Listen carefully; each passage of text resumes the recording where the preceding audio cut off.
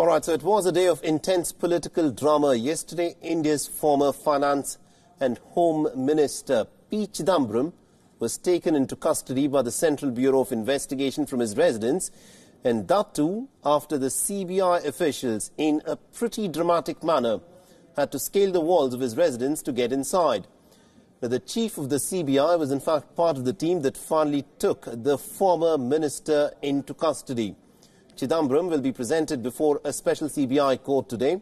And Chidambaram's son Karti Chidambaram also reached New Delhi this morning. Listen in what he had to say.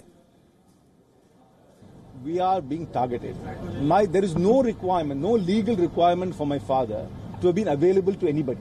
All that happened on Tuesday was that a, an anticipatory bail plea, which was filed in May of 2018, for which the arguments got over in January of 2019, where the the, the, judgment was reserved for seven months. The judgment came out. That's all. Of course, the Congress Party completely stands with him, and I'm ever grateful to the leadership of the Congress Party, particularly Mr. Rahul Gandhi and Priyanka Gandhi, for standing with us because we all know this is not just a merely a targeting of my father; it's a targeting of the Congress Party. What's the next step from your side? I, I have gone through the same process myself, so I will go through the legal process. There are there are legal processes which we will follow. And also earlier, Chidambaram, who was nowhere to be seen for over 27 hours, surfaced at the Congress party headquarters to address the media. He made an impassioned case about his whereabouts since Tuesday evening, saying that he was not running away from the law, but in fact was seeking the protection of the law.